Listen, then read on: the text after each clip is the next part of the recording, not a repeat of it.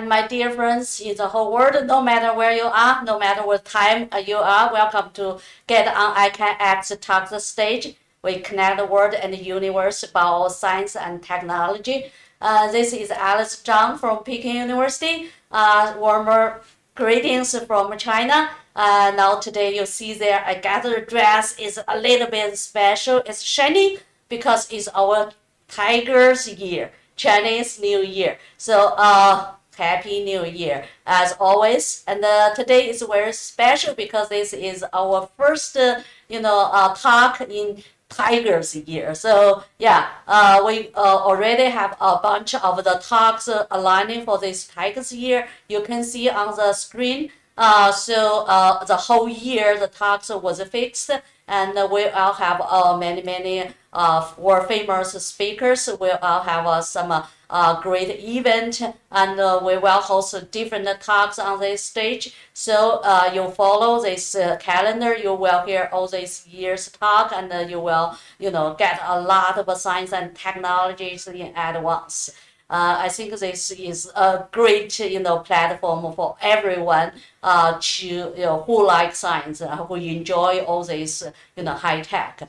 And uh, this spring, uh, we uh, started with applied nanotechnology. So uh, we will have uh, for, uh, five speakers. And uh, in these uh, five weeks, today we started with Chad Mirkin, the famous uh, scientist in uh, nanotechnology. And uh, next week, we will have a scientist, Paulo so, uh, Samorì, was from France and uh, going to talk about the 2D materials. And then we will have Justin Hanes was from uh, John Hopkins.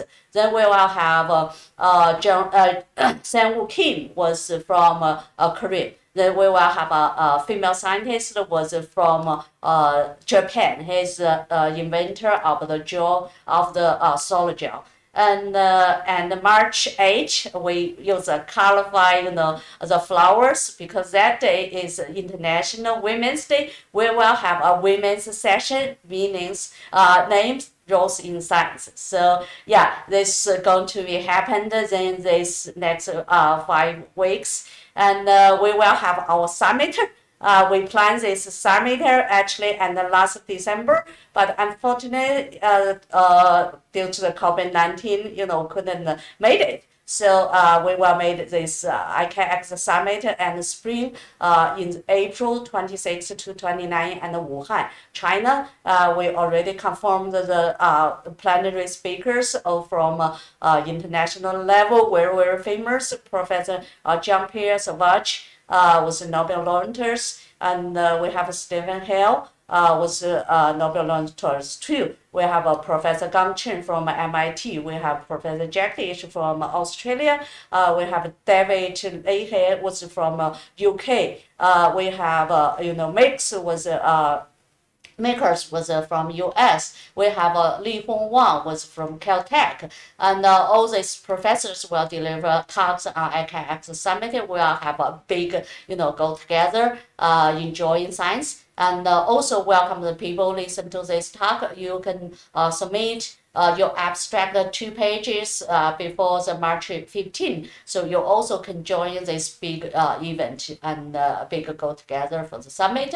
Uh, so that's we planning for these two months. Yeah, will be a lot of fun. I hope you enjoy. And today uh, is our first talk. Yeah, we invited the most important people to get on stage to deliver this first talk in Tigers Year. So as uh, uh, Professor Chad Mirkin, now my I pass my you know job to uh, Paul Weiss. Paul, uh, my great friend, are you there? Yeah, please. Okay. okay well, Paul. welcome, welcome everyone to this uh, New Year's uh, set of talks and and happy happy Tiger New Year. This is our 86th ICANX lecture, if I'm uh, counting correctly, and it's a special treat today to introduce a close friend and distinguished colleague, Dr. Chad Mirkin, one of the world's leading nanoscientists.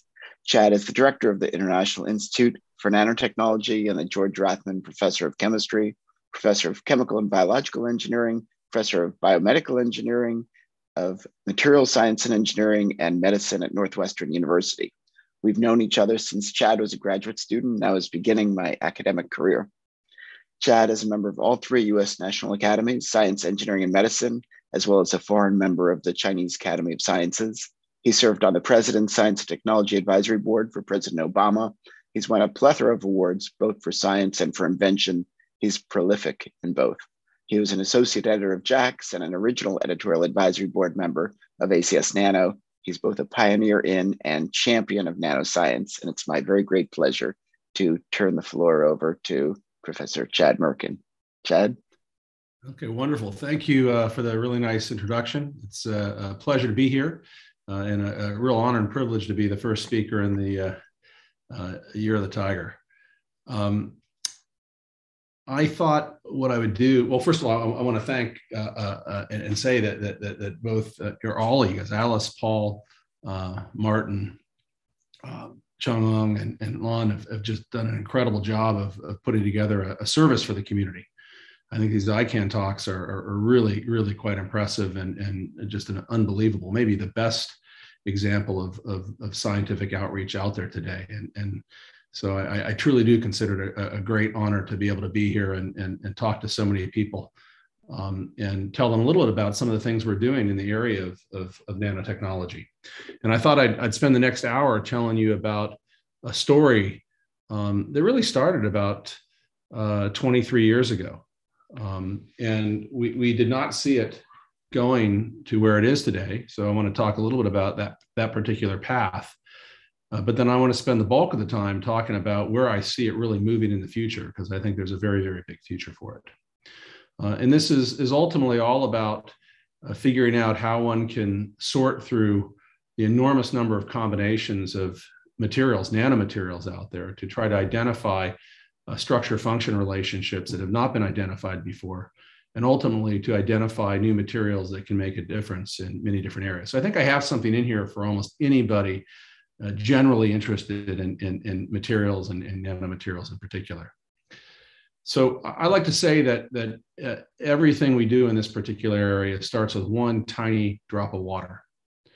Um, back in the late 90s, um, we uh, discovered um, a, a, process, uh, invented a process, a technique that we called dip pen nanolithography.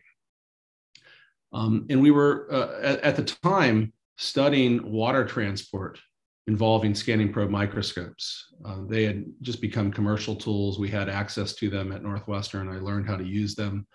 My students learned how to use them. Um, and uh, I had a, a really talented uh, postdoc, a guy named Richard Piner, uh, a physicist by, by training. This, I think, emphasizes the importance of, of multidisciplinary interaction. You know, I was a chemist, certainly just a pure chemist at the time of, of this particular effort. Um, and uh, I forget what the, the origin was, but we, we, we, had a, we had a strong interest at the time in, in, in, in looking at uh, the topology of surfaces.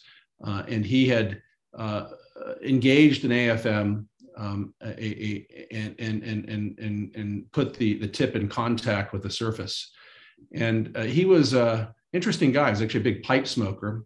And uh, he went out uh, after he engaged uh, the AFM with the surface to, to smoke a pipe, uh, and then came back in uh, and did a survey scan. And when he did, uh, he saw what appeared to be a droplet. In fact, it was a, a metastable droplet of, of, water. Water had collected at the point of contact, um, and you could actually image it. which was somewhat shocking at the time because he was basically uh, imaging the result of the capillary effect. Water collects at the point of contact. That's a thermodynamic sink. Uh, when you run an AFM experiment in air, when the tip's in contact with the surface, um, and he was uh, uh, the first to, to really image uh, that that particular uh, droplet, that phenomenon. Um, and, and he was fascinated by it, and he began to study it. Um, and he discovered that one of two things typically happened: is the tip was moved across the surface. Either water moved from the surface to the tip, uh, creating depletion layers, uh, or water was deposited onto the surface to create add layers of water that were also metastable. And you could create patterns of the water. Um, of course, they, they would disappear over time, and, and, and uh, from a chemist standpoint, uh, that wasn't very interesting. So I looked at this and, and said, you know, this is usually viewed as a major problem in scanning probe microscopy uh, because it convolutes um, measurements that you make. Remember, the instrument was was uh, developed uh, to get topological measurements uh, uh, of a surface. Um, and and from a chemistry perspective, it'd be a lot more interesting if we could learn how to transport molecules through or over that water uh, to a substrate. So we could create chemical gradients where molecules that were preloaded onto the tip could chemically react with the underlying substrate. And at the time, there was a lot of interest, of course, in gold thiol type chemistry, and that seemed like the perfect type of system to study this with. And sure enough, it worked. And what we found was that we could controllably deposit materials in, in monolayer form onto substrates. And, and, and so you could create really tiny volumes of materials on surfaces and add layers that were not metastable, but stable uh, indefinitely. Um, and that was the birth of, of, of dip pen nanolithography. And, and the, the, historical significance of that um, is uh, pretty important because uh, it's arguably the first time um, anybody had ever used a scanning probe microscope uh, for additive manufacturing to basically uh, build structures on surfaces. Remember that we, we, we, typically think of these types of tools as, as, as topological readers. Um, it, it was, they were also used to damage surfaces, but here you were constructively building matter on a surface. Uh, even different from uh, uh, spelling out of IBM in, in the old days using uh, uh, low temperature STM. There you're pulling up and moving. Here, direct deposition building structures from the bottom up. And that's important because that began to um, sway our thinking or influence our thinking in terms of what we could ultimately do with this type of technique. So I need to now bring you up to speed because a lot happened between now or between then and now. Um, and uh, I need to also give credit to, to other, other folks as well. Um, so uh, if you kind of look at the development of, of writing tools, um, first of all, Alice is always happy about this. This goes all the way back to China. Uh, much of what we do today uh, are just highly miniaturized forms um, and simplified analysis of, of what was done many, many years ago. Uh, but they're important forms. Um, and, and, so DipPen was an interesting tool because, as I said, it allowed you to customly uh, uh, make uh, nanostructures on surfaces, and at the very least became a, a, tool where you could study the consequences of miniaturization. And it was used by many groups, including ours, for, for many years to do that. At the same time, at Harvard, George Whitesides was developing uh, techniques like microcontact printing. Uh, these are not competitive techniques, they're actually highly complementary techniques. Contact printing uh, is a, a, parallel method, allows you to pattern over large areas, but does not allow you to pattern at the resolution of a dip pen type of experiment. So one is very custom, the other is very parallel, one is very high resolution, the other is relatively low resolution. Um, so those two techniques were being developed in parallel. Uh, we actually even commercialized dip pen nanolithography. There are tools all over the world uh, used to do it now, uh, the NScriptor by NanoInk in particular. Um, and, and, we were about to to basically quit and you know call it a day and say, hey, we've done as much as we can possibly do here. We'd actually taken the these types of tools from single cantilever types of tools to ones that had as many as uh, uh, uh, 55,000 cantilevers in a square centimeter chip.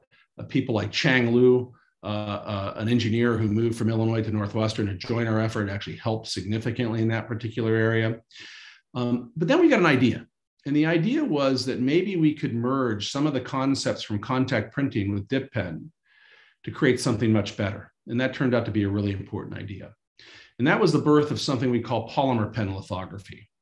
The basic idea was that instead of creating a stamp, an elastomeric stamp, you could create an array of pyramids, elastomeric pyramids, mounted on a glass substrate or a transparent substrate that could take the place of a cantilever in a conventional scanning probe instrument, not even an AFM, a much simpler instrument. And so if you had then the ability to laterally move with nanometer precision and to move up and down with nanometer precision, you could begin to think about using the tips as point sources to locally control chemistry underneath. That was the birth of what we call cantilever-free scanning probe lithography. It really changed everything because now we had an incredibly high resolution custom tool that could allow you to pattern over large areas, square centimeter areas. It also changed how we thought about doing scanning probe synthesis and, and fabrication in general, led to what we call desktop fabs. Pretty soon we realized that we could use these pyramids, the backs of them, as light addressable entities and squeeze light through the backs of the pyramids through the nanoscopic tips and control photochemistry in the near and far field on the other side.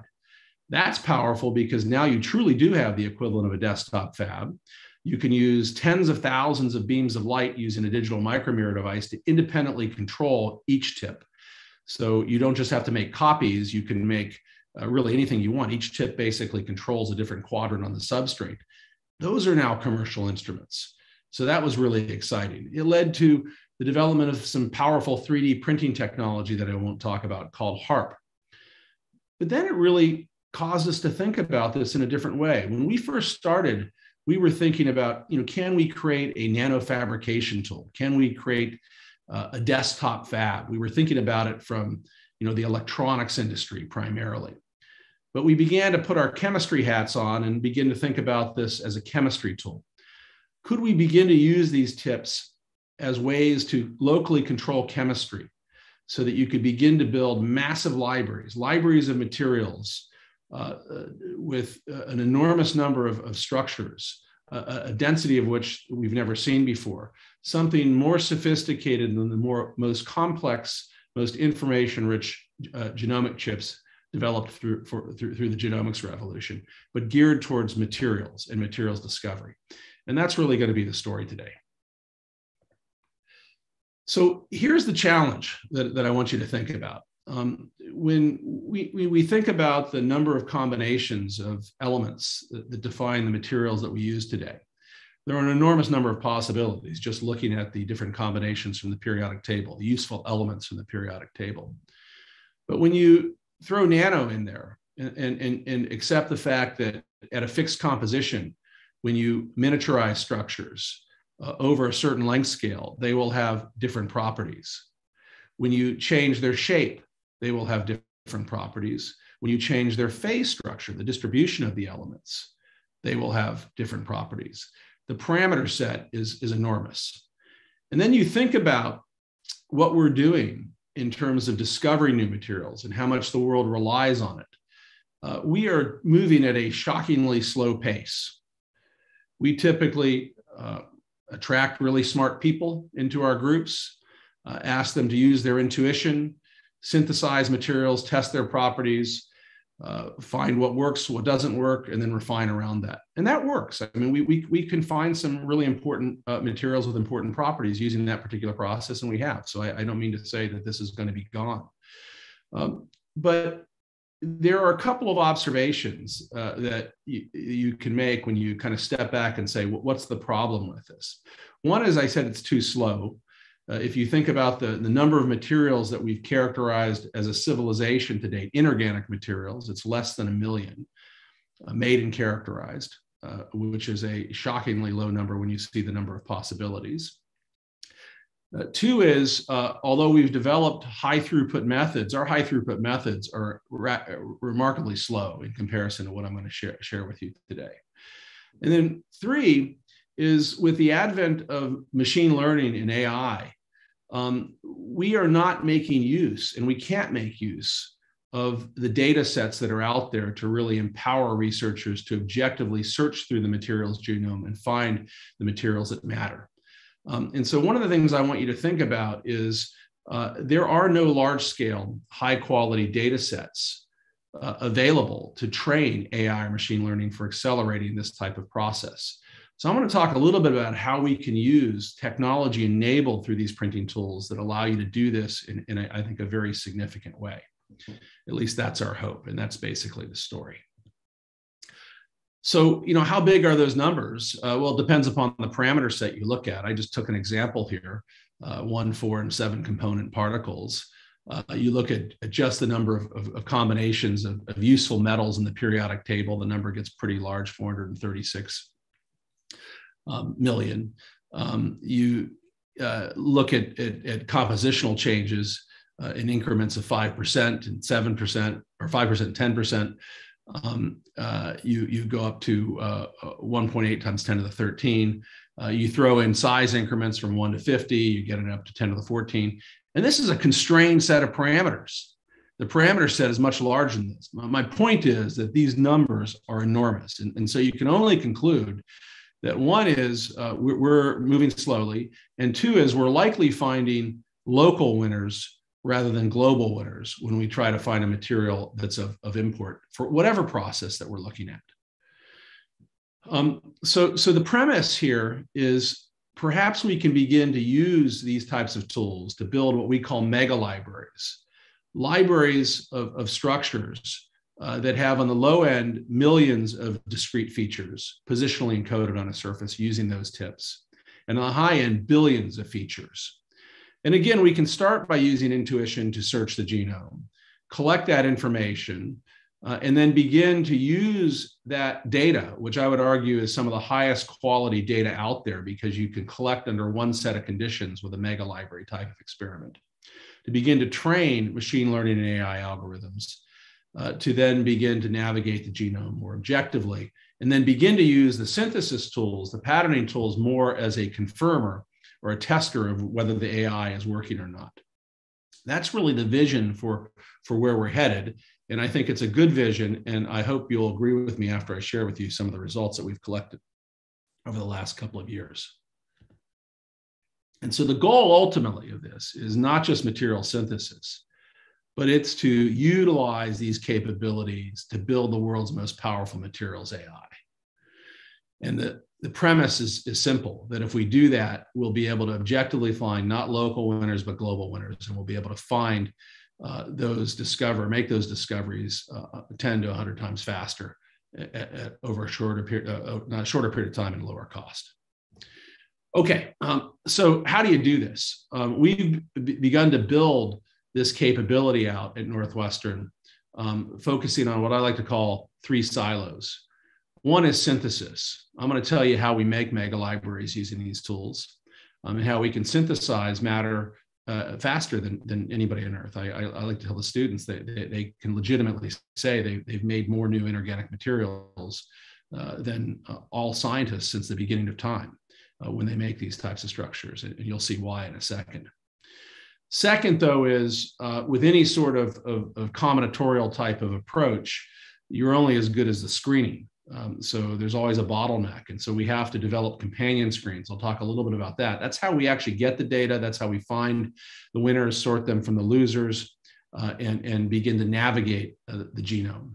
And then the third is we can begin to test uh, whether or not that data can be used to train algorithms, where then machines can begin to help us pick and choose what parameter set that we should look at. Uh, we have a great collaboration with the Toyota Research Institute uh, and Chris Wolverton we're, we're all, and, and Vinayak Dravid, and I'll share some advances there as well.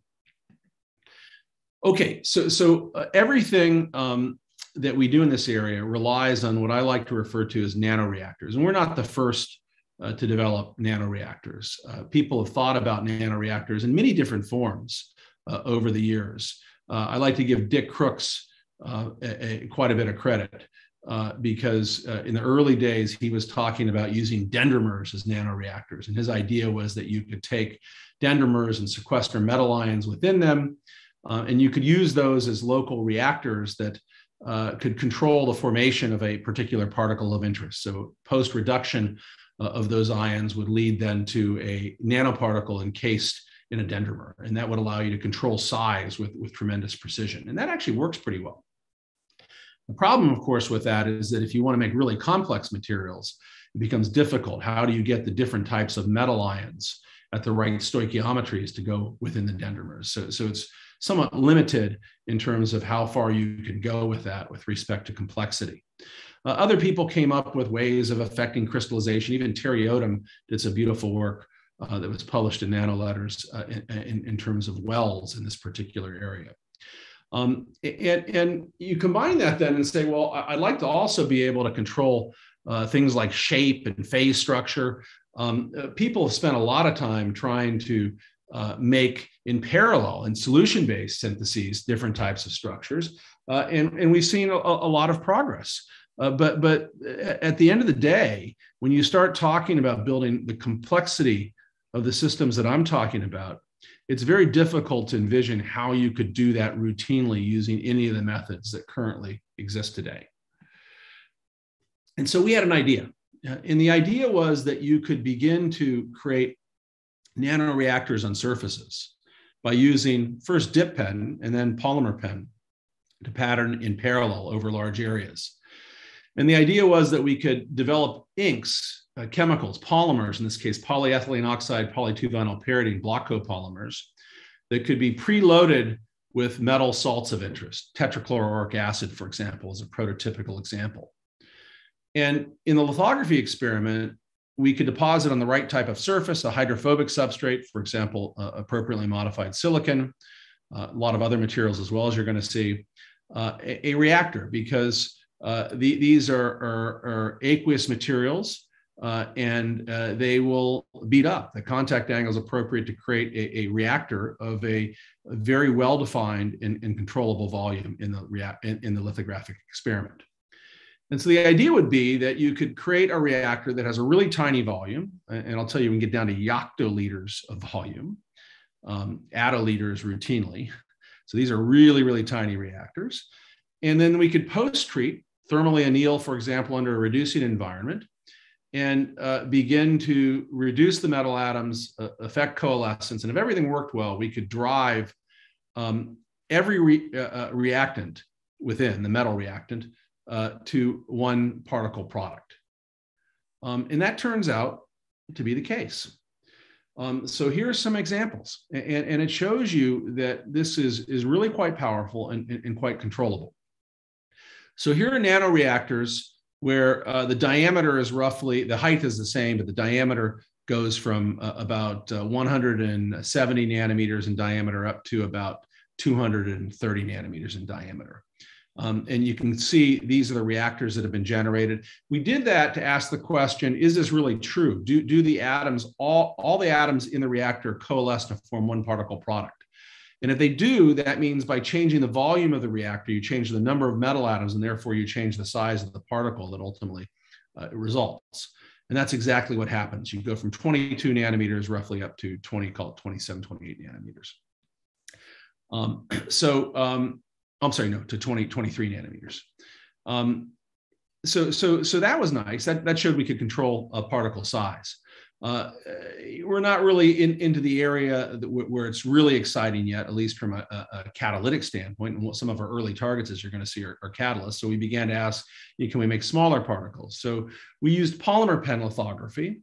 Uh, and we built uh, uh arrays of these particles where we try to keep the size constant uh, in this case, 4.8 nanometers. Uh, and, and you can see that we created a, a dispersion. You can actually uh, count all the particles uh, and, and, and get great statistics because you make so many of them at once. We're, in this case, we were using a, a polymer pen array that had 160,000 tips um, and, and just making reactors over and over and over again so, so that, that we could have millions of, of, of, of particles that were generated. Um, and, and, the dispersity here is better than uh, uh, the best preps out there in solution for making gold nanoparticles. And that's because the lithography is tried and true. It actually works really well. You can control a reactor volume with tremendous uh, reproducibility and precision. Now, that's kind of interesting. And you, you, can begin to ask the question how does this actually work? Uh, what happens? Uh, can I visualize uh, the formation of these types of particles. And I want to make an important point here because this is a powerful new type of surface science tool as well, uh, because it's one of those rare times where um, you can set up a reaction um, where you have all of the reactants in one vesicle, in one reactor, converting to a single product.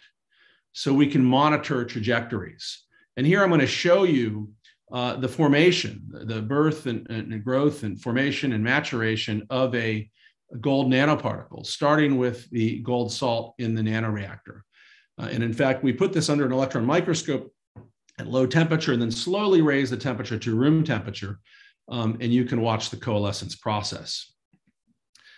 So if you look here, you can see the little nuclei all coming together, uh, and eventually they fuse to form one particle. So we, we can map out trajectories, and you might look at this and say, well, that's kind of cool, but what, what, what do I really learn from this? Well, if you break this down frame by frame, I took it out of the talk. I've talked about this in the past. Um, what you find is that you have both ripening occurring and coalescence. The difference being that in the one case, one particle is dissolving, uh, atoms are being freed up and being transferred to neighboring particles. In the other case, uh, particles are fusing, they're coming in contact with one another and fusing. Both processes are occurring, and you can tease that out of uh, this type of analysis, uh, and, and they're distance dependent. So uh, when the nuclei are within five nanometers of one another, coalescence tends, tends to dominate. When they're further than five nanometers, ripening tends to dominate. So I think there's going to be a lot that we can learn uh, by utilizing this just as a surface science tool to understand uh, trajectories involving particle synthesis. And, and we're doing that across uh, many different types of compositions and, and, and, and material types. The other thing that's important is I've only talked about single component systems, but what's really powerful here is what you put in the polymer ends up in the particle. And this really shows that.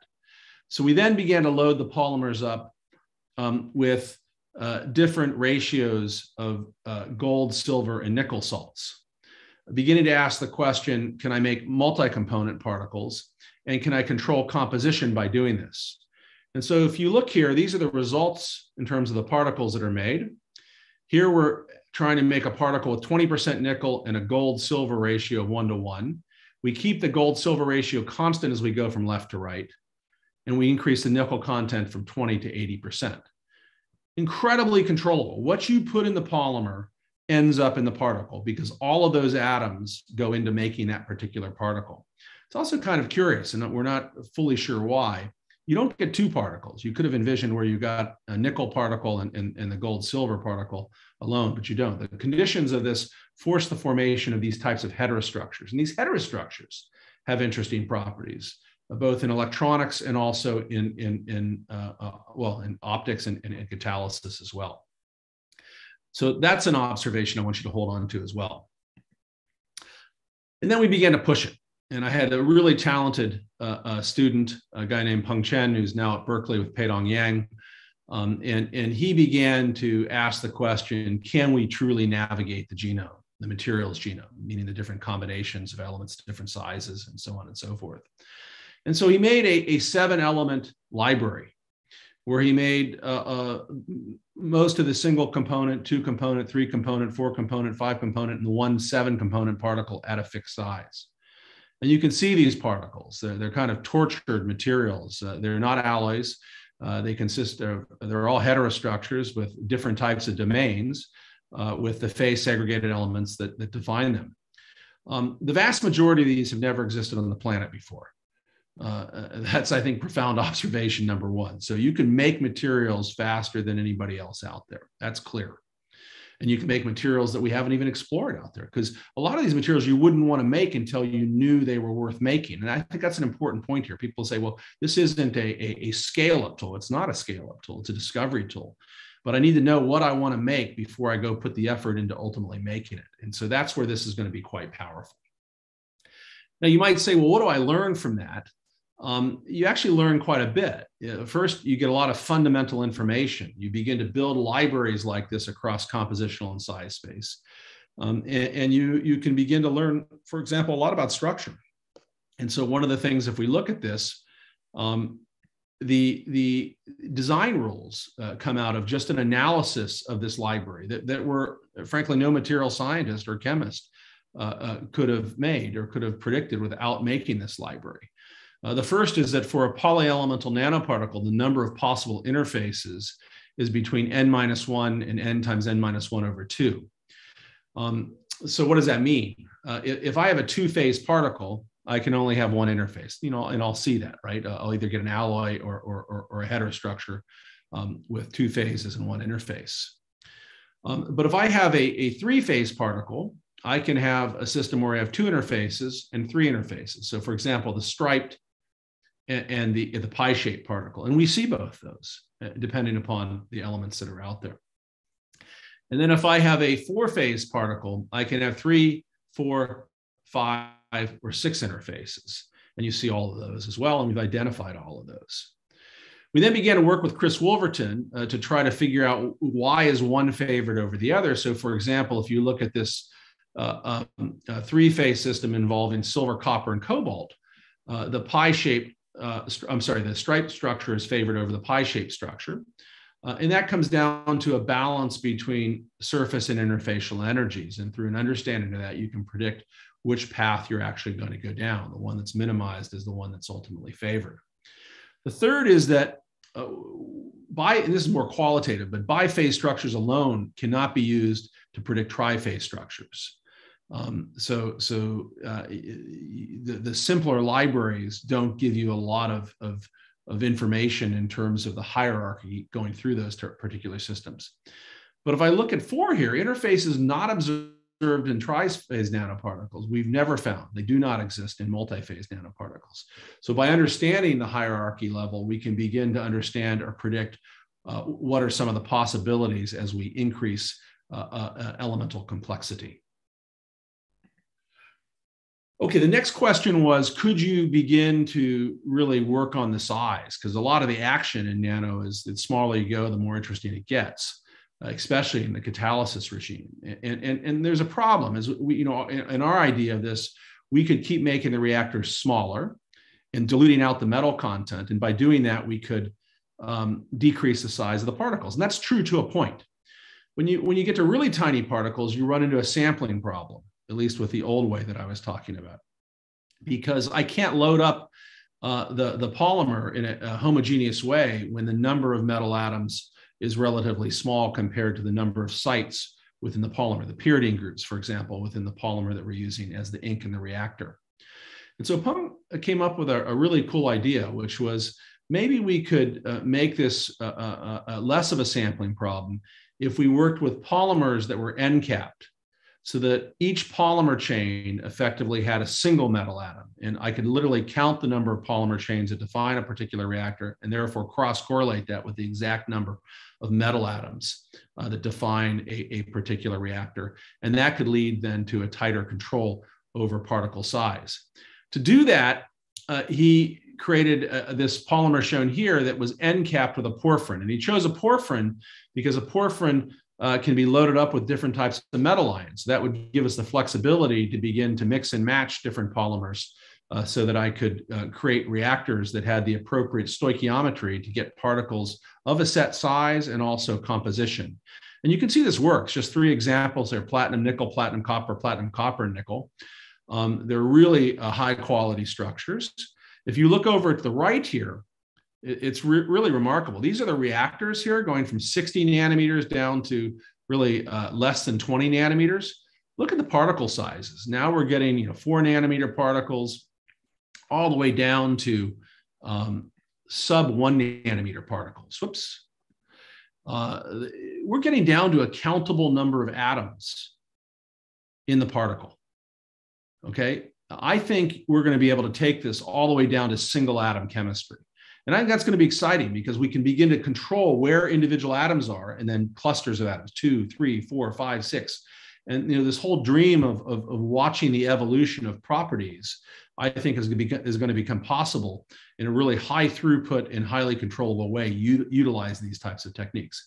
But for now, we can say we can get down to really tiny particles. We have to use aberration corrected electron microscopy uh, to, to, to identify the structures of these. But the good news is we have phenomenal facilities at Northwestern that allow us to do that. The next question is, you know, what, what are the limitations? We, we, and we don't know. And, I, you know, I, I can only talk about the limitations today. Uh, what I can say is that um, when up to the point that I've described now, we were good at making these structures in the middle of the periodic table here.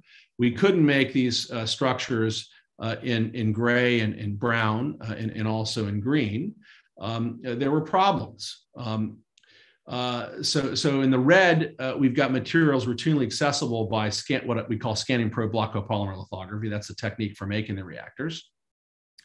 Uh, the, the, the blue are hindered because they, they exhibit low mobility, so they won't coalesce under the conditions that we, we typically uh, had used. Um, uh, the, the orange are, are, susceptible to hydrolysis, the precursors are. Uh, the gray are not reducible under the reducing environment we're using, the hydrogen. Um, and, and with the green, uh, we, have got volatility issues. Um, so the question was, is there a way to get around that? The answer is there is. Uh, this opens up a whole new field of chemistry uh, where you're beginning to try to understand how you match solvent conditions, reactor conditions with the lithographic experiment with the results that you ultimately want to obtain. Um, and so uh, we began to develop new ink formulations uh, that would allow us to expand the number of possibilities. So, for example, by moving from the conventional uh, uh, uh block copolymer to a, a, a solvent uh, with a, a polystyrene nanoreactor, a non coordinating polymer, um, that allowed us to make a variety of different types of materials that I'm going to share with you today. Um, and then we found out that we could uh, move from silicon substrates, which were our, our, our, early substrates that we investigated, to things like alumina. That's important for a couple of reasons. For uh, many people interested in catalysis, for example, would like to work on other types of substrates like aluminum.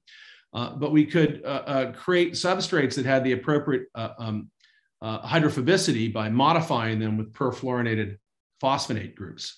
Uh, and that was a trick that allowed us to create uh, surfaces that uh, were compatible with the types of, of materials we, we, were working with and also allowed us to create uh, reactors with the appropriate um, uh, uh, contact angle to, to affect the process that I alluded to or something similar to what I alluded to. And, and below you can see some of the results. And now, now we're beginning to make iridium, rhodium, tungsten, many of the materials that we, we, we couldn't make before.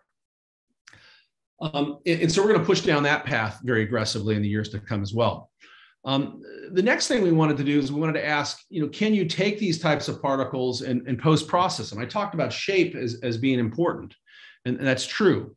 Um, so, for example, in the catalysis arena, uh, oftentimes you don't want to work with the rounded particles. You'd like to um, work, work with structures with high index facets. Um, and and you, you'd like to work with structures like the one shown here, these tetrahexahedra um, uh, we developed independently another method that allowed us to take these types of particles and convert them from rounded spheres into tetrahexahedra, uh, which is really quite interesting and useful, regardless of whether you're using this for nanocombinatorics. Uh, for example, just taking a platinum fuel cell catalyst and reactivating it. Uh, this is a process that works because it's a ligand free process. And basically, what you can do is you can take precursors on a, on a substrate in a tube furnace let's say an array of, of particles that we've made via the scanning probe block copolymer lithography process. And you can put a boat upstream of it that has a trace element, antimony, bismuth, lead, or tellurium. You can flow argon and hydrogen over that boat in, at elevated temperature. Uh, uh, that volatilizes the trace element and it alloys with the particles of interest. Um, and uh, Liliang, a, a, really talented uh, uh, graduate student uh, who's now also at Berkeley, um, sounds like Berkeley is the is the depository of, of, of, of, talented grad students, but that's not the case. Where they they go all over the world.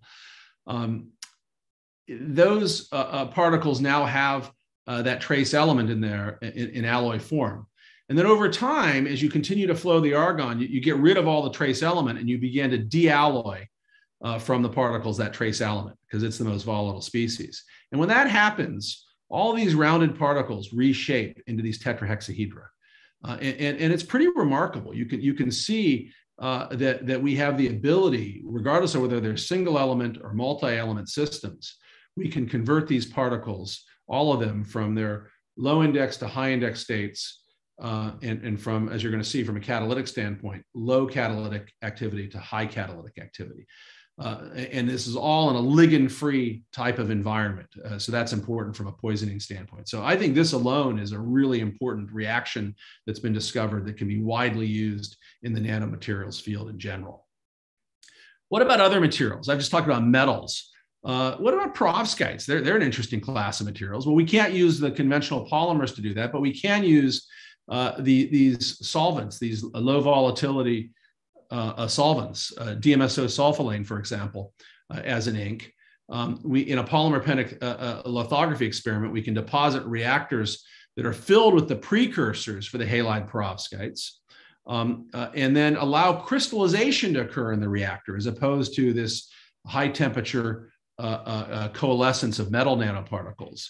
Um, and here we've found that we can uh, basically build libraries of these types of structures, as you'll see. Up here, you can see again the control, hundreds of thousands of each one a single crystal, all positionally encoded on a surface. That's going to be important from a device manufacturing standpoint as well. Uh, a, a, again, another talented material science student, uh, Dong Hun, uh, uh, uh drove a lot of this work along with folks like Jordan Swisher and Min Liang, who actually came from Peidong Yang's group. We, we trade a lot of talented grad students. Um, uh, and, and they made a, a, a, tremendous amount of progress. Uh, and, and, then these are, are, particles that are not just pretty in terms of, of, of, of position and composition, but they, they actually uh, uh, uh, uh emit as you would expect them to, and they emit depend upon composition and size and other types of, of, parameters that we can control in these experiments. Um, we, we can make almost everything uh, uh, in, in terms of, of this particular area. Uh, we have the methyl ammonium, lead, uh, uh, iodide, bromide, uh, and, and, chloride versions here. We've got the, the cesium versions. Um, and, and you can see over here, um, you, you can dial in by controlling composition and size these single crystal fates that, that control the emissive properties over here on the right. Um, uh, now you might ask, well, well, what what is there to discover in this area? There's a lot. Um, so you know, one is you know what, what is the right composition, structure, particle size to give me the most optimized set of properties: stability, safety, uh, and emissive properties. Um, and uh, one of the things that we figured out we can do is we can build a, a library of uh, uh, all the same particles, maybe varying in size. Um, and then we can use a laser uh, to affect uh, photo defects uh, in, in, the particles as we scan across the array. Um, and depending upon a radiation time, power, um, we can control the number of those defects. And then in mass, we can exchange the bromide in this particular case with chloride. And so we can begin to build really uh, incremental changes in terms of composition across an array that is systematically varying in terms of size. Uh, in utilizing this particular technique, we've built a library now of 4,000 different particles, uh, and we've begun to optimize and identify structures uh, that have uh, blue emission uh, based upon particle composition and size. And, again, it's not one or the other, bromide or chloride. It's a, a, a, a, small variation that ultimately leads to a significant difference in terms of optical properties. You can kind of see that right here. Um, so if we look at this, um, we, we've built this library and identified um, structures uh, that are optimized in terms of their emissive properties. So this just shows you how you can begin to look at, in addition to structure, optical properties of these types of materials and related uh, architectures. Uh, and, and, so from the mega library, we've discovered this particular composition in the lower left uh, as the optimum one uh, with respect to blue emission. Okay, uh, what else? I, I mentioned catalysis. So one of the things you can do is use these types of techniques uh, to effectively build um, systems that allow you to screen for catalytic properties. And the first way you can use this is to, design catalysts. Uh, and so you might be asking, can you make enough of this where you can probe uh, catalytic properties? Um, well, we asked the same question. We, we looked at the library of materials that we made, the, the, the different uh, metal uh, ratios, and, and, we asked uh, uh, Chris Wolverton to look at those structures and begin to give us some targets based upon DFT calculations for reactions of interest.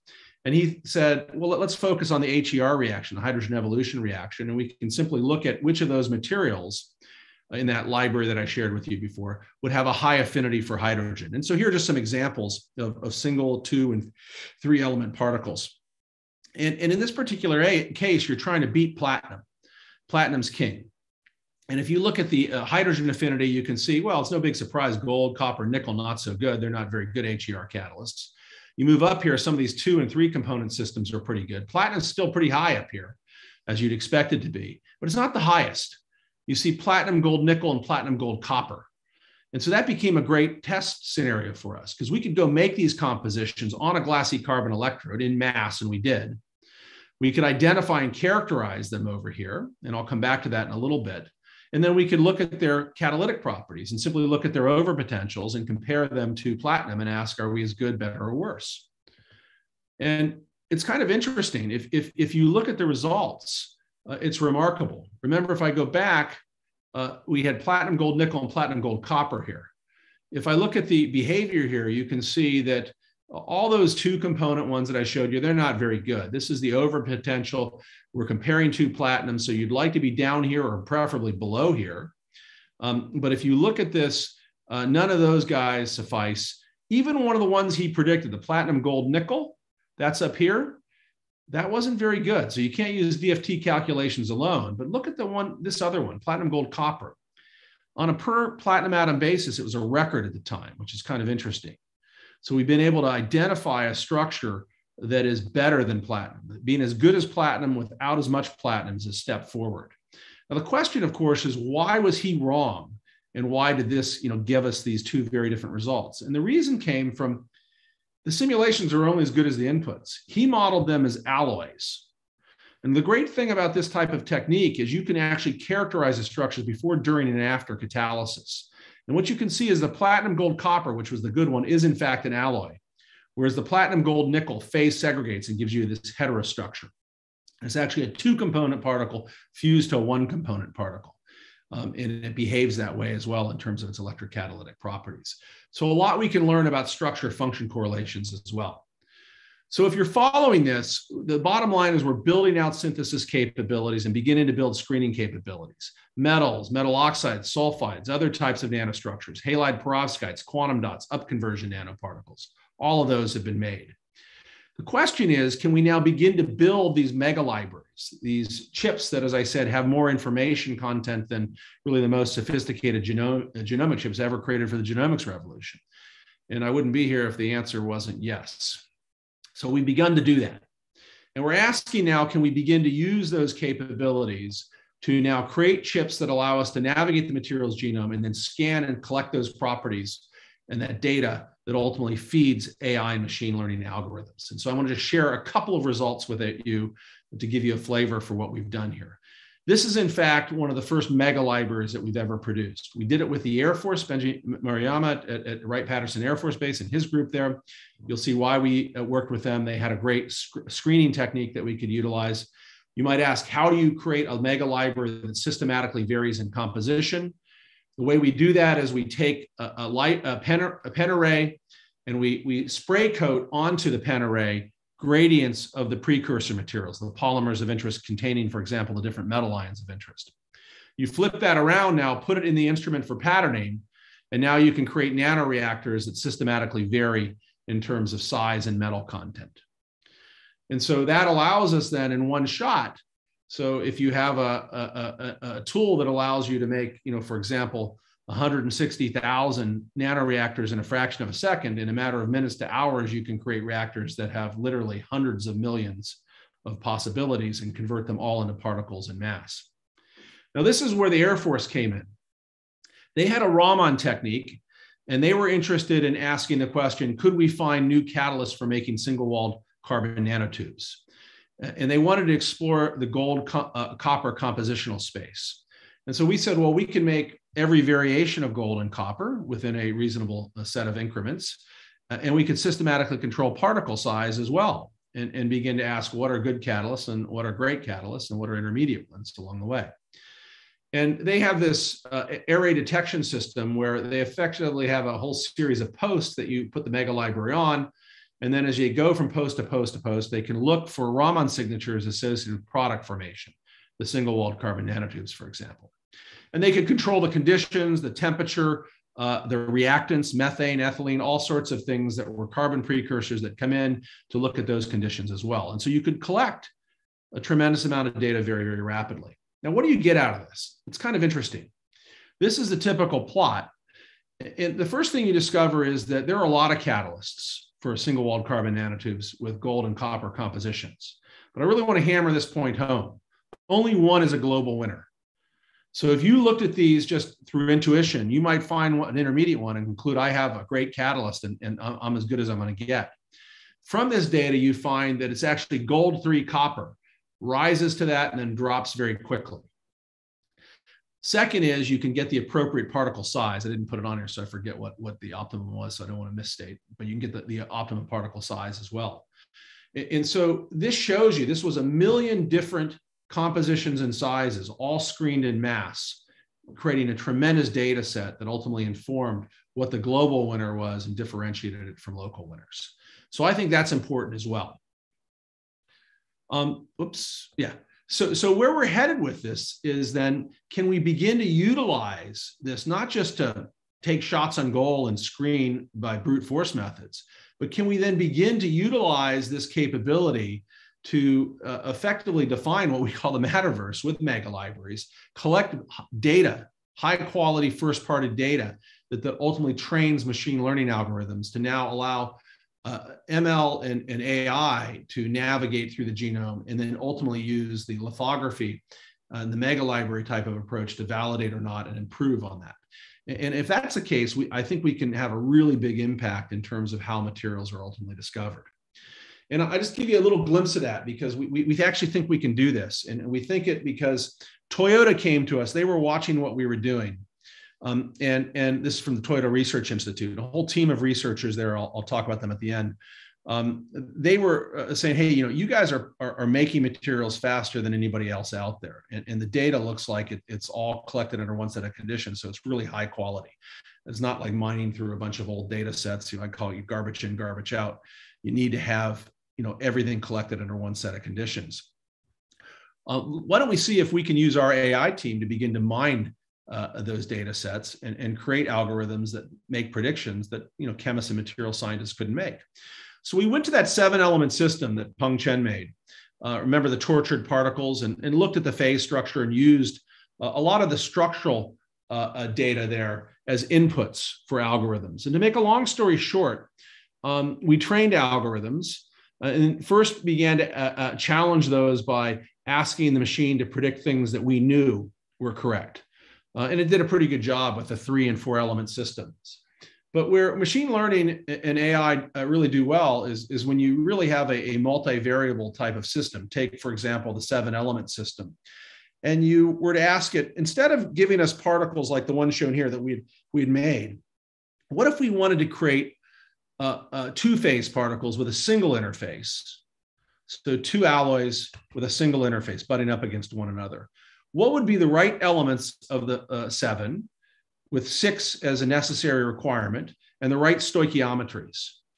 Uh, well, the machine could spit out answers and, and, and we could go make those and test whether or not it was accurate or not. And in this case, it predicted 19 different possibilities. We made all 19 and characterized them. 18 of 19 were correct, which you know, frankly, blew us all away. We, we, we, we would have been happy if, you know, a third of them were, were correct. Um, and I, I, think it's important. Uh, it's important for a couple of reasons. One is no material scientist or chemist on earth could predict that. Okay, so, so you're using the data and you're using the algorithms to now make predict. This is the most sophisticated uh, uh, uh, uh two-phase particle ever made, uh, six elements in this case, and, and it, it just the, the wherewithal does not exist uh, to, to make that type of prediction. Uh, the second thing is I think the prospect for using this to identify not just structural uh, uh, uh, properties, but, but, but, but, but catalytic and optical properties and other types of properties that are important for many different types of applications, I think are, are, are, are important early targets. Oops.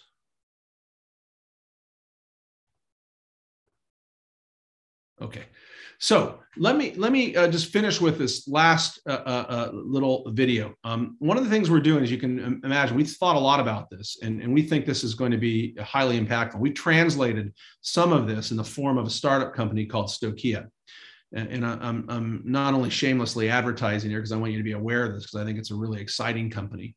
Um, but I want to show you what they've done because they've taken what we've done at the university and done something pretty impressive they've created what what they call the discovery factory, uh, which is putting all of this together from uh, how you look at things as possibilities, how you build the libraries, how you collect the data, and, uh, uh how you identify the catalysts, and ultimately how you scale them up.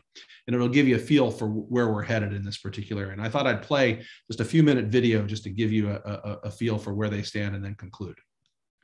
So let me see if I can get this up.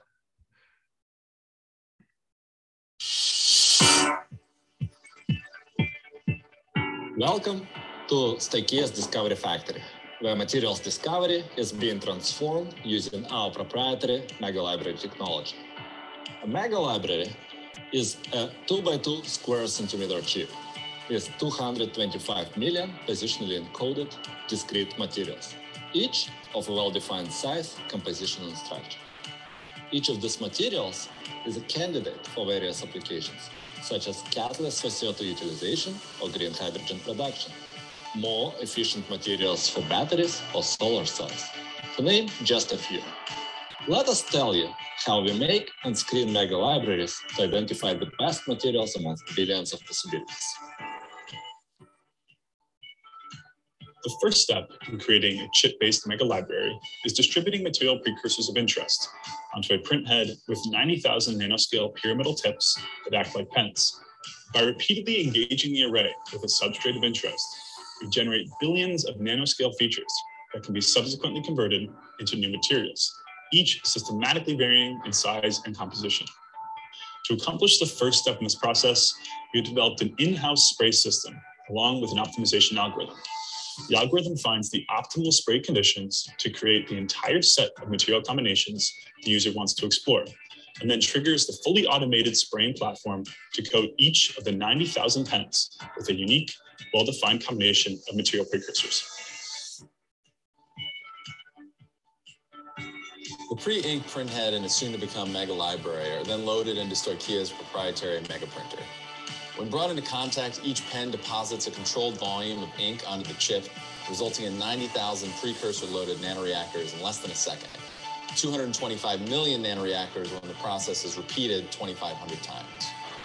In a post-processing step, the nanoreactors are all converted in parallel into an array of discrete material candidates with positionally encoded size and composition.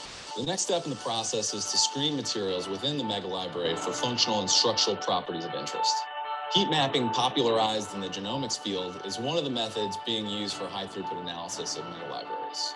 Using colorimetric indicators, the intensity in each pixel of the mega library chip can be used to infer the performance of the materials within that pixel and help quickly identify hotspots for further investigation. Now, to simulate commercially relevant conditions, we use site-isolated scanning electrochemistry to confine small areas of the chip and interrogate electrocatalytic properties. This technique provides a high throughput analysis of the relationship between the electrocatalytic properties of the materials and their given structures and compositions. Importantly, using this method, we obtain a comprehensive understanding of a catalyst performance, including activity, selectivity, and stability. All of these metrics are important when considering catalyst scale up and deployment. Critically, this one instrument can generate hundreds of thousands of structure function data points per day. In just a few minutes you spend watching this video, we will have acquired hundreds of new data points, each bringing us closer to the next enabling electrochemist. Once promising catalysts are selected for mega libraries, they are scaled up by bulk synthesis methods and stress tested in commercial electrolyzers and fuel cells. In this case, electrocatalysts of interest are spray coated and electrodeposited onto high surface area commercial membranes and electrodes, and their stability, selectivity, and efficiency are validated under electrolyzer conditions. To accelerate the exploration of the vast material space, we train AI models to guide us towards the best material for a given process. The data employed for training these models is gathered through proprietary software from our ultra high throughput synthesis and screening experiments, ensuring the quality of data sets being compiled. As data compounds, the AI continuously improves the speed and accuracy of its predictions, becoming more efficient in directing experimentation towards the most favorable materials and the minimum number of iterations. You just witnessed the Discovery Factory in action. As we scale the factory, the pace at which we create and characterize new materials, generate novel structure function data, and unlock the predictive power of AI will accelerate. Ultimately, the Discovery Factory will provide the optimal answers to any material problem, faster and at a fraction of cost of what's possible today.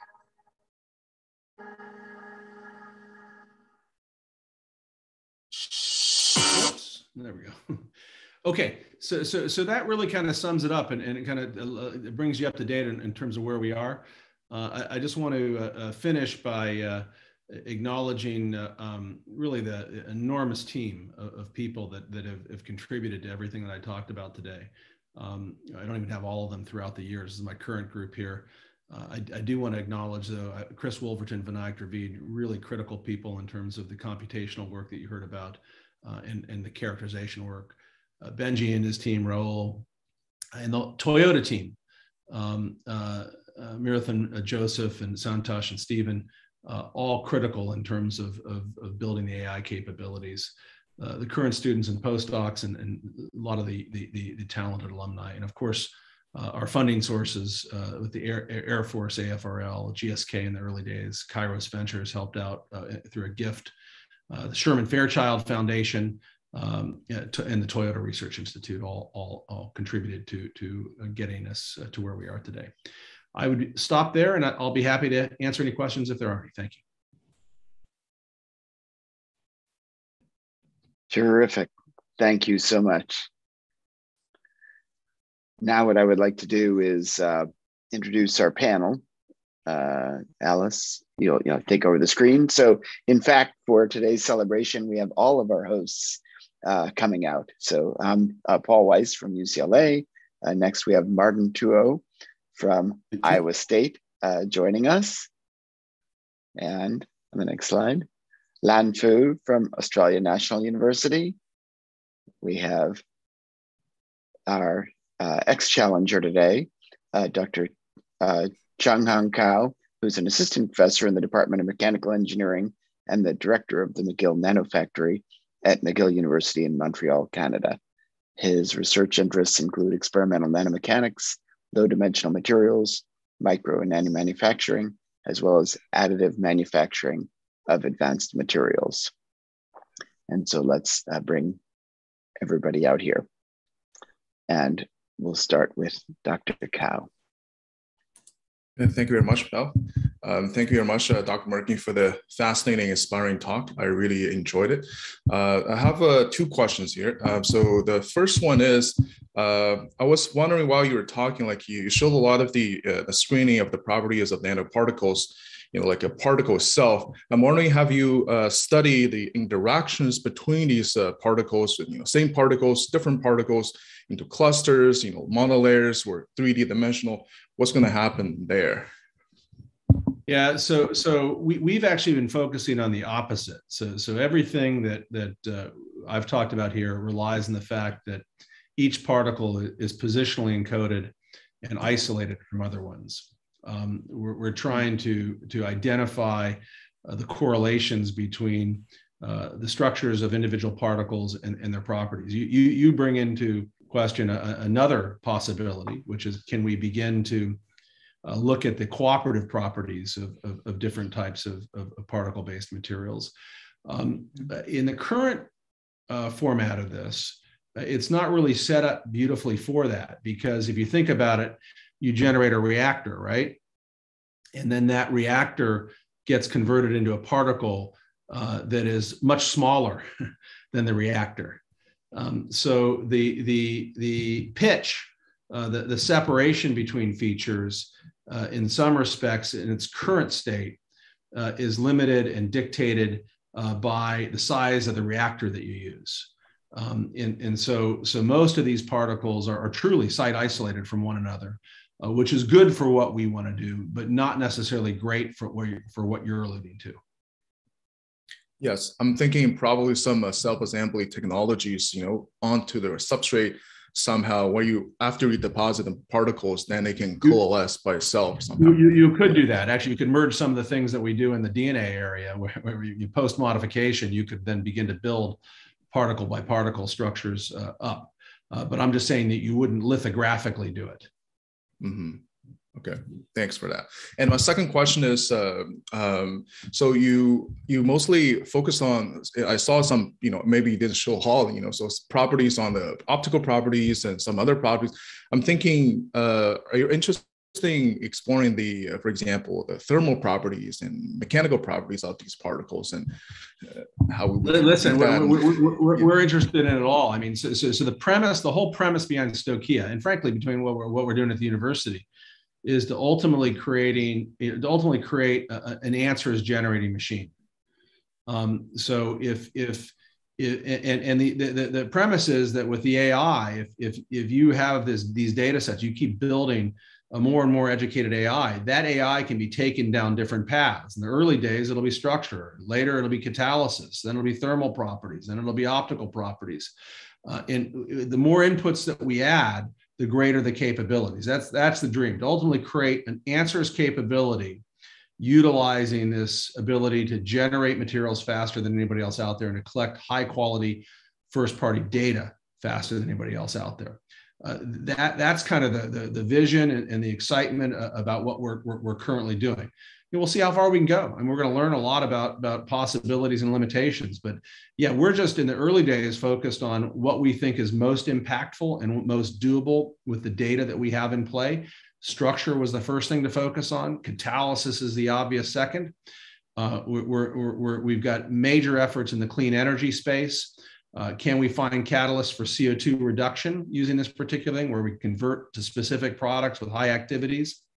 Uh, can we uh, uh, create modes of creating green hydrogen?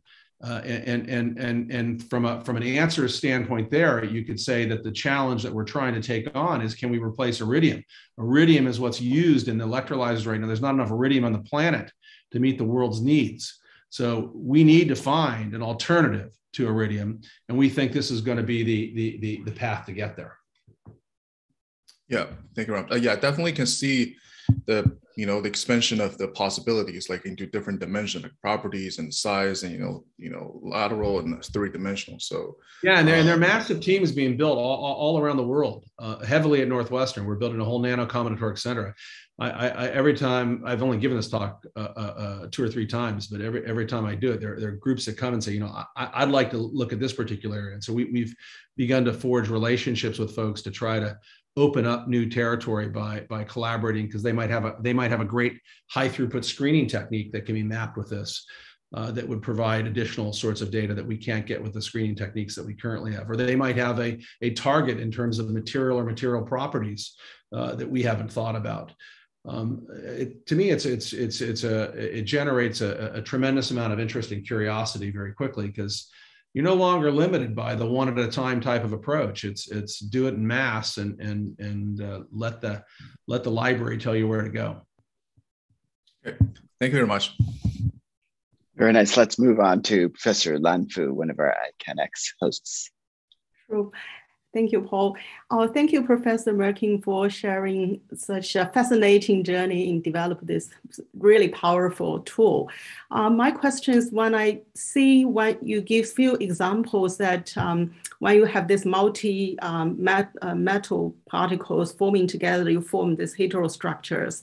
And then you also give example about perovskite, which is um, apparently is like compound type of thing. So how this really happening is what determine that formation of this kind of um, structure is the materials property themselves or is actually your um, processing parameters? Which one is actually uh, dominant the result basically? Well, as I said, I, I, think it's a little bit of both. I mean, to me, it, it was kind of curious that that that that with the um, complex heterostructures um, that we, we could have either gotten those or we could have gotten just a bunch of isolated particles that never fused. So the, the sintering conditions, the coalescence conditions, uh, the choice of polymer, the choice of, of, of temperature and, and, and, and, reaction conditions uh, lead to that particular outcome. And it turns out to be a great outcome because otherwise you just have a mess. um, and, and, and, to be honest, when, when you look at a library, when, when Peng did this, you know, 80% of them are, are, are, are what we talk about, the, the, the particles, but 20% are, are, are, what I just described. Uh, so, so it's not a perfect process in that regard. Um, but because you get so many uh, duplicates, um, uh, and that's if you li- listen to the video, the, the company approach is they're not just making one particle per site, they're making 2,500 versions of each of those you can burn a lot of duplicates within a mega library because you have you know a lot of real estate on this scale to work with. Um, and what that means is that you can get a, a, statistical representation of what that particle composition is. Because uh, what some people often ask is what about orientation? When you have these complex particles you know you roll them around in different ways different uh, faces are exposed and that might lead to differences in catalytic activity. Exactly. So, so, so the, the duplication effort, the ability to, to have many, many duplicates uh, uh, allows you to at least uh, take that into account and, and not miss a great opportunity or pass on a great opportunity because you had the wrong orientation. Right. Yes, it's very complex, I can tell, and it's very difficult. Uh, my next question is about uh, semiconductors because you you touch on a little bit that's that's like the green area where you find because the volatility of the materials, it, um, it makes some challenge. But uh, my my question is like if you can make perovskites, uh, that's probably a bit more volatile than semiconductors. So what is the um, real limitations because of the annealing temperature? No, it, no, we, we, we've made something. So we make quantum dot uh, particles, right? We, we made uh, big libraries of, of, you know, cadmium sulfide, cadmium selenide. Mm-hmm. Um, I, I think that um, the story is still being told, but but, but I, I think almost anything you can make by conventional synthesis, you're going to be able to make on tips. Um, it's going to require, as I said, a, a, development of you know clever ways of, of, of creating conditions that mimic those on tips. But we've done enough of them now um, where I, I, am convinced that's going to be possible. That if, if you have a desire to move in that particular area, you can come up with a clever way of doing it. I can't say that we can do all of that yet now, um, but but uh, I'm, I'm pretty confident we're going to be able to get there, and, and I think the students are as well. Great. Thank you very much. Thank you. Let's move on to another of our ICANX hosts, Professor Martin Thuo. Uh, hey, Chad, thank you. Very nice talk. Uh, very inspiring. Uh, fast, I have two questions. The first one is more towards the people who are up and coming you know, showing that amount of work and so many fascinating ideas to somebody who is early in their career, they may feel, oh my goodness, when am I going to ever get there? So my question to you is, how do you start such a long journey? Do you have the vision at the beginning or do you follow the data and let it guide you? Uh, yeah, you know, or, no, that, that's a really good question. I mean, I always say this is one of the greatest stories uh, that that just undermines uh, uh, uh, the importance of, or not undermines, uh, underscores, underscores the importance of, mm-hmm. of, of, fundamental research. You know, we're looking at water transport back in the 90s, right? We're looking at, at, at esoteric, sorry, Paul, scanning probe measurements that, that, that, that Paul would get excited about, I would get excited about. But the vast majority of the world would say, oh, great, you know, they're looking at water transport and that led that created the whole foundation for this. Okay oh now we can make things additively instead of of of, of you know damaging a surface instead of just reading a surface you know we're depositing things we're doing chemistry on a surface. Uh, oh okay i can use that to uh, create a, a, a, a, simple a simpler version of, of, of a microfabrication capability that can be used at the point of use. That becomes kind of the next connection that's made and, and then you parallelize and you start looking at this and go, well, I can do it that faster. Okay, that's good. That's engineering. Oh, wait, no, I can use this as a synthesis tool. So, so it, it's it's not being satisfied with what you do. It's saying, okay, I learned X. What does that allow me to say about Y? And, and, and just keep questioning and questioning and questioning and asking, how far can I go and what can I do with this?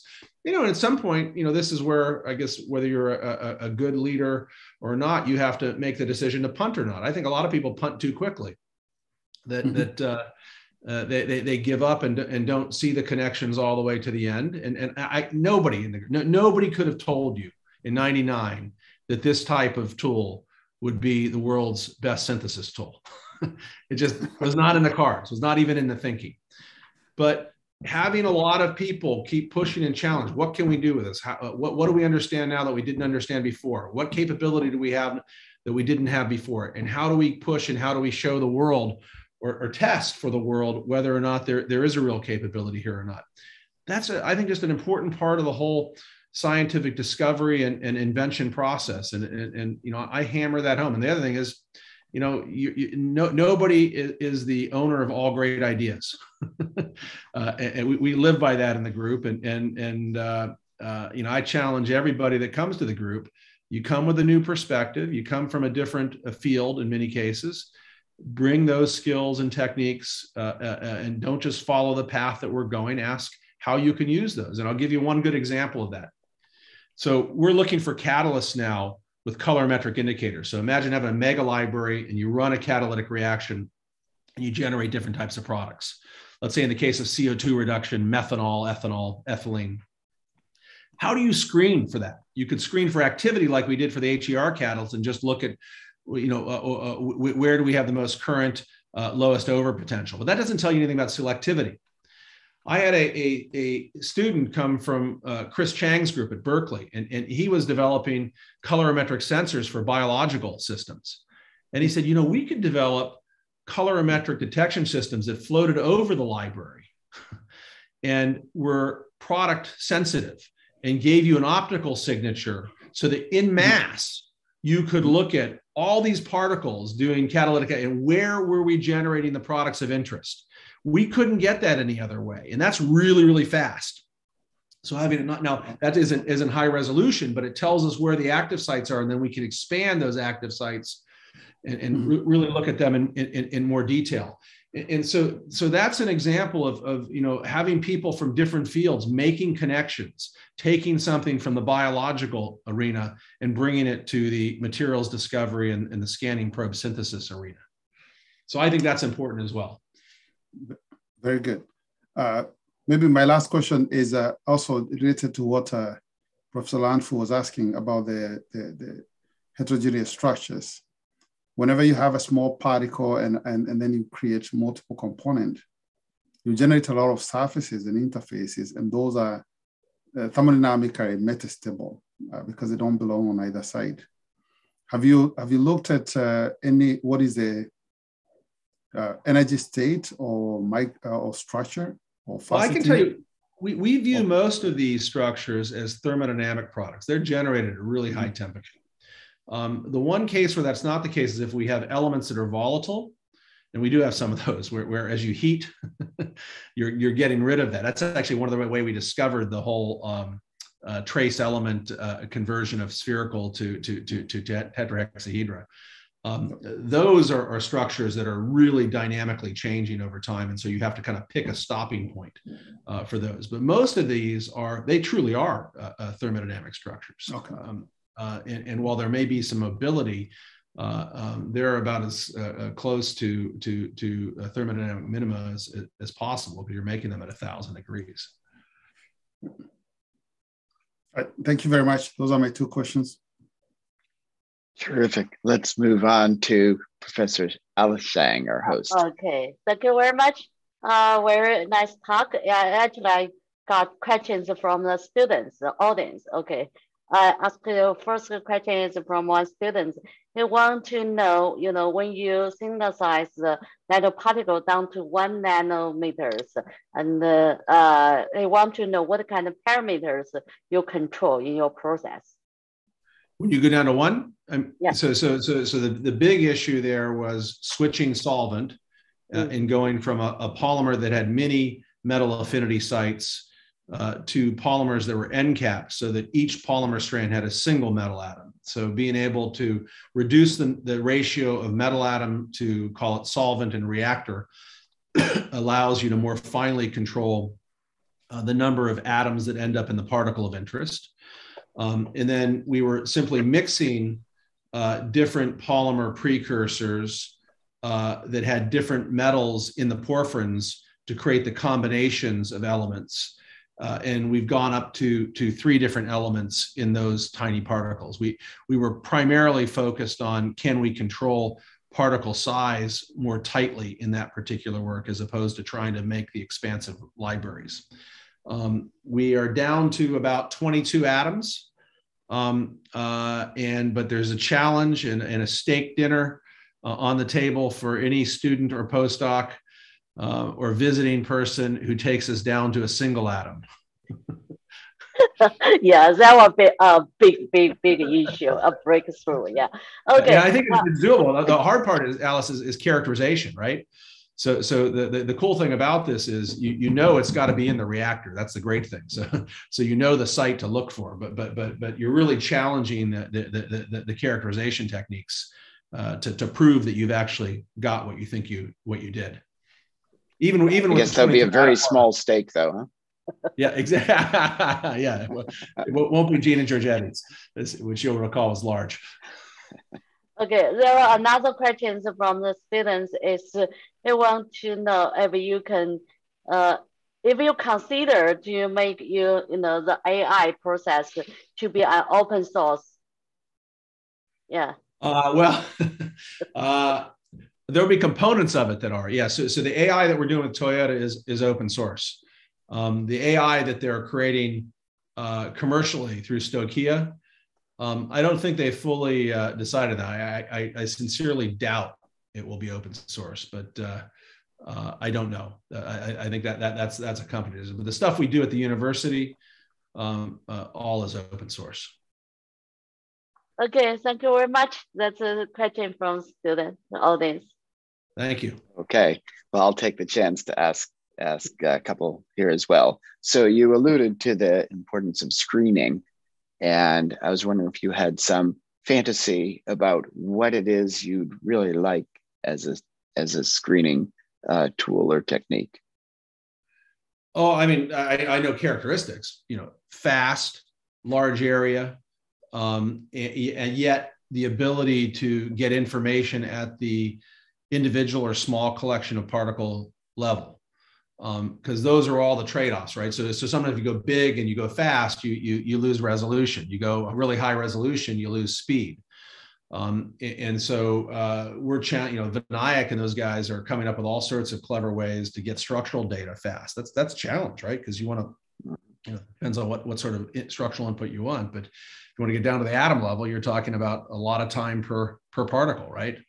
Um, if if you're just looking at general structure, uh, it's a, a, different level. And if you're looking at, at ensemble properties and you know where is the where is the local hotspot, that's a different uh, level of resolution. So, so it's really it's always a combination of those. And, and you're getting at, I mean, the the the right now I'd say we are more limited by uh, the throughput of screening than anything else. Um, and that's really important for everything that we want to do in terms of identifying promising hits, but also getting the data right? Because uh, that that that that is in the in the you know, data factory concept that, that that really is is a limiter. So.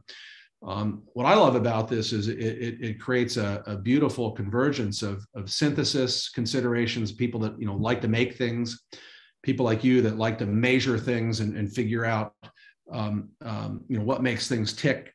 Uh, uh, uh, there can be a lot, of I think, clever innovations that come out of this because of the challenges created here. And then the third part which I'm just learning a lot about myself, is is is how far we can go with the AI and machine learning and and, and what the limitations are there. Good. And I'll ask one uh, question on behalf of the trainees out there. You're about to get several hundred thousand applications for your group. and so let me ask you for them what it is you're looking for in people you bring into your research group. That's a really good question because everybody thinks you, know, you get such great people and you know you must spend just tons of time looking at you know p- part of it is northwestern has a process to, to get people into graduate school. I trust that process. So so once people are in my main thing is personality and, and interest and excitement. Do they share the enthusiasm for science that i share? I, I think they're above the bar in terms of smarts and they're ready to go are they going to like our, the philosophy of our group and and you know which we you know work hard and we have fun? Uh, uh, and, and th- those are the two two two two uh, prerequisites and, and, work smart. Um, uh, but but but uh, i don't go through a uh, a real detailed analysis of it after they're in.